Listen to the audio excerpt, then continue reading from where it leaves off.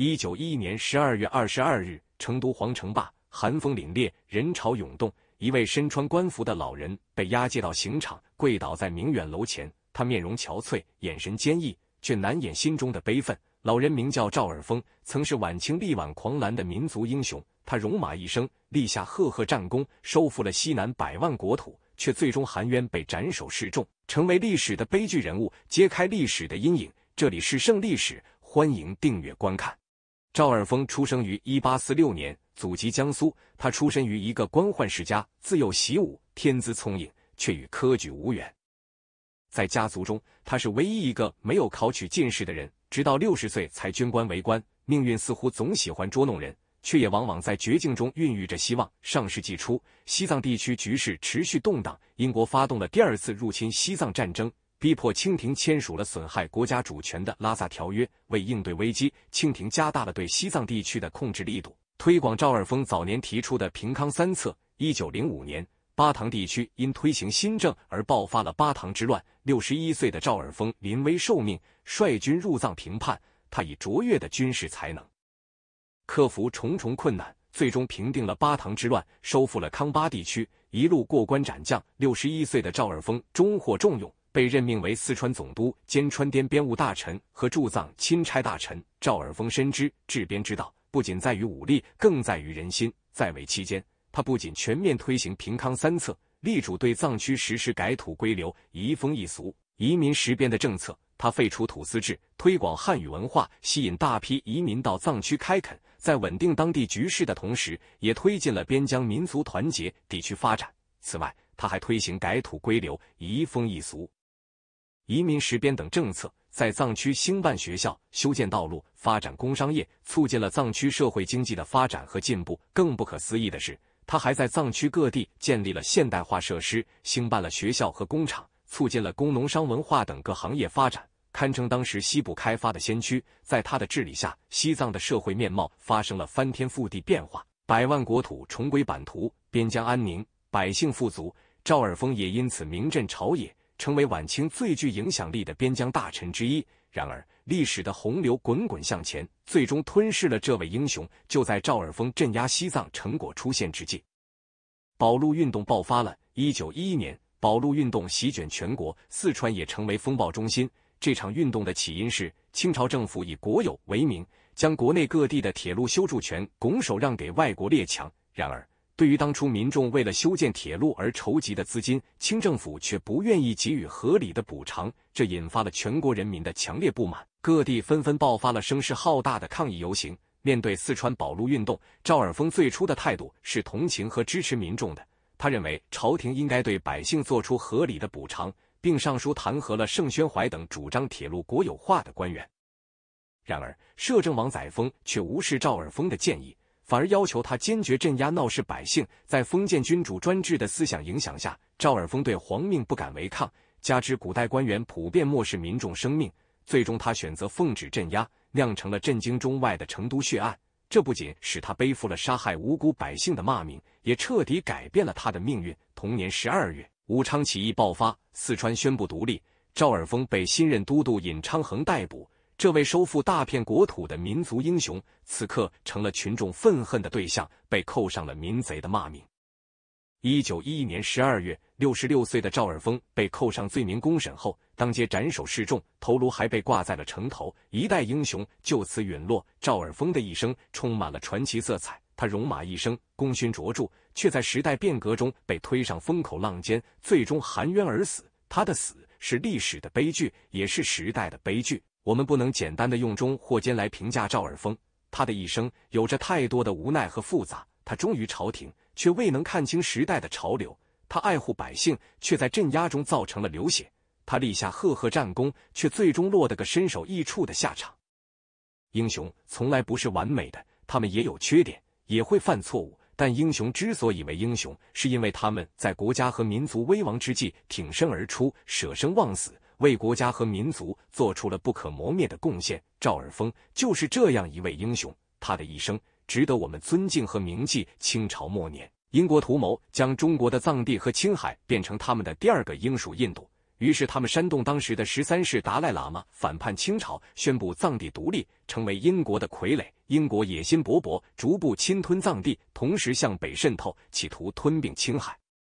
在英国的鼓动下，十三世达赖喇嘛背叛了清朝，宣布将藏地从清朝的统治下独立出来，并占领了整个地区。随后，他派遣藏军向东侵略，进入了位于川西的藏区，鼓动当地的土司和百姓支持藏军，与他们一起反抗清朝。这导致了巴塘之乱，驻藏大臣奉权在当地叛乱势力的袭击下丧生。藏军趁机占领了川西的大部分地区，直逼打建炉（今四川康定）。一九零五年五月。晚清朝廷派遣赵尔丰前往四川建昌道担任职务，并招募士兵，负责平定川西土司和百姓的叛乱。赵尔丰善于运筹帷幄，指挥士兵成功平定了川西土司和百姓的叛乱，并击退了藏军的进攻。随后，赵尔丰削弱了川西土司在当地的权力，实行改土归流政策，并驱逐了由十三世达赖喇嘛任命的藏地官员。一九零六年七月。晚清朝廷任命赵尔丰为川滇边务大臣。一九零七年，四川总督西凉离任，晚清朝廷决定让赵尔丰代理四川总督的职务。一九零八年二月，赵尔丰的兄长赵尔巽被晚清朝廷任命为四川总督，而赵尔丰则被任命为驻藏大臣。一九零九年，十三世达赖喇嘛再次派遣藏军向东侵略，占领了川西地区。赵尔丰率军首先击退了藏军在巴塘的势力。然后紧追不舍，消灭了大部分藏军，收复了整个川西地区。藏军残余力量逃回藏地，赵尔丰率军追至藏地边界，决定迅速进入藏地，以一鼓作气收复整个藏地，彻底平定了十三世达赖喇嘛发动的叛乱。赵尔丰率领军队进入藏地后，娴熟指挥，骁勇善战，军队接连获胜，成功收复了江卡、贡觉等四个藏地部落地区。紧随其后，越过丹达山向西推进，夺取了江达宗。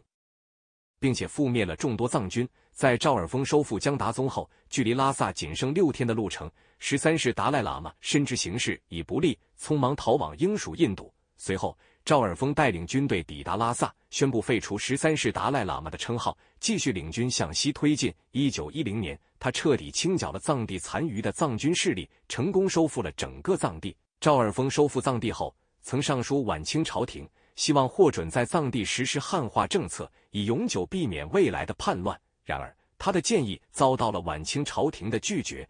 赵尔丰先后收复了川西和藏地，总共夺取了西南广阔的近一百五十万平方公里土地，被誉为中国近代史上最伟大的民族英雄之一。他的功绩与收复天山南北广阔一百六十六万平方公里土地的左宗棠一样显赫。然而，赵尔丰却成为了被历史所遗忘的民族英雄。一九一一年，赵尔丰的兄长赵尔巽被晚清朝廷调往东三省担任总督，而赵尔丰则被任命为四川总督。赵尔丰担任四川总督后不久，四川发生了保路运动，四川百姓反对晚清朝廷以铁路国有的名义将铁路权益出售给列强。赵尔丰深知百姓的保路运动是完全正确的，因此他一方面进行劝导。一方面致电内阁请求商议解决之策，并弹劾建议晚清朝廷铁路国有的官员盛宣怀，要求晚清朝廷对其进行调查。然而，晚清朝廷不仅对赵尔丰的建议置之不理，还下旨强硬要求他压制发起保路运动的保路同志会与百姓。赵尔丰对四川百姓怀有同情之心，却又不能违背晚清朝廷的命令，他无奈下令。要求川军准备镇压发起保路运动的保路同志会与百姓。赵尔丰逮捕了蒲殿俊、罗伦等九名保路运动领导者。随后，保路同志会组织百姓到都署请愿，却遭到卫兵的镇压，导致部分请愿百姓受伤。都署卫兵压制四川请愿事件发生后，四川各地的志士义军纷纷起义，蒲殿俊、罗伦等九位同志获救。仅一个月内，四川大部分州县被保路同志军攻占，清军节节败退，最终溃散。晚清朝廷不得已发布命令，要求赵尔丰率领川军镇压保路同志会。然而，赵尔丰和川军将士不愿遵命，他们无法忍受保路同志会和四川百姓进一步的伤亡。面对这一局面，晚清朝廷只能派遣湖北新军入川镇压保路同志会，导致武昌部队实力薄弱。湖北的革命军趁机制定了武昌起义计划。晚清朝廷对赵尔丰不接受率领川军镇压保路同志会的命令，下令免去他在四川的总督职务，但保留了他担任川滇边务大臣的职位。一九一一年十月十日，武昌起义爆发，随之各省革命军相继响应湖北革命军的号召，在十一月二十二日和二十五日，四川革命军先后召开了成都的两次四川官绅代表大会，宣布四川脱离晚清朝廷统治，建立大汉四川军政府，并选举蒲殿俊为都督，朱庆澜为副都督。成立四川军政府后，赵尔丰不愿川军和四川革命军的士兵们再次损失惨重。因此，没有出兵攻打四川军政府，反而让川军归顺了政府。然而，一九一一年十二月六日，川军突然起义，蒲殿俊和朱庆澜逃亡。四川军政府的军政部长尹昌衡率领四川革命军平定了叛乱。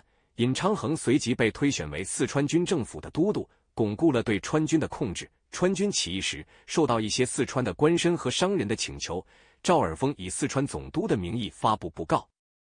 以稳定川军的士气，尹昌衡之所以能够迅速平定川军叛乱，主要得益于赵尔丰的威望，稳定了士气。然而，由于赵尔丰的威望过于显赫，尹昌衡认为他对自己构成了威胁，因此产生了除掉赵尔丰的念头。一九一一年十二月二十二日凌晨，尹昌衡以赵尔丰可能是川军起义的幕后指使者为由，指挥四川革命军逮捕了赵尔丰，并在成都皇城坝召开了公审大会，对赵尔丰进行了公审。尹昌衡诬陷赵尔丰指使川军起义，并下令处决以示众。赵尔丰深感冤屈，临行前发出了无尽的愤怒呐喊。